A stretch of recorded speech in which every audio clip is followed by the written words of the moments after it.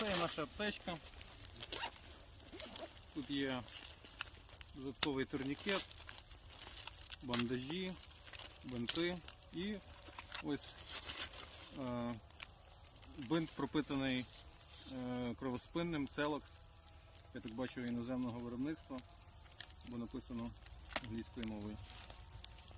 Окрім бинтів, на передовій використовують різні кроспинні препарати. Медики радять покласти в аптечку кілька видів, бо це може врятувати життя.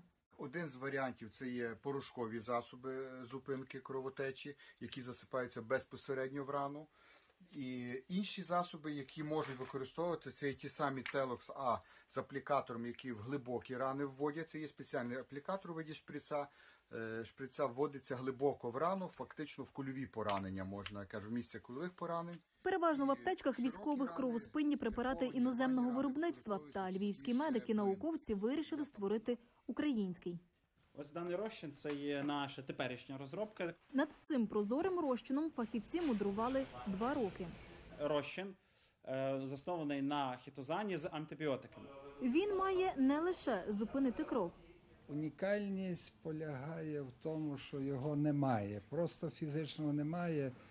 І е, вже досить багато препаратів існує, які кровоспинні, але препарату, який би і кровоспинний був, і ранозагоювальний, і антибактерійний, таких немає препаратів. Найскладніше було отримати правильну пропорцію компонентів у ліках, експерименти, помилки, знову дослідження, і ось результат.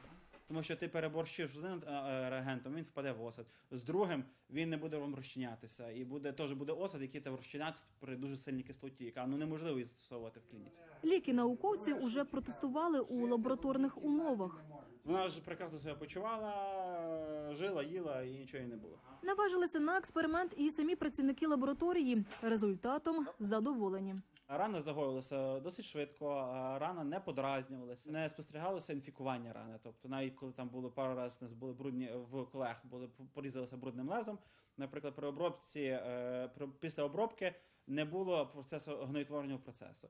Е, Хоча ця людина я трохи до нього схильна була. Головна мета львівських науковців своєю розробкою допомогти бійцям на передовій. В першу чергу йде мова про поверхневі рани. Ну, на жаль, е, транспортування з поля бою до лікарні воно часом займає години, і, на той час е, ну, треба не просто накласти жгут, щоб кров не витікала, а треба також забезпечити антибактерійну дію. Свій препарат львів'яни надіслали до Києва на всеукраїнський конкурс в Національну академію наук.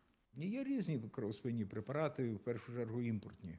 Ми пропонуємо вітчизняні і набагато більш ефективні. Щоб препарат з'явився на передовій, його ще потрібно офіційно протестувати на людях і зареєструвати в мозі. Зі Львова Христина Ашенко, Юрій Голубінка. Подробиці телеканал Інтермарафон. Єдині новини.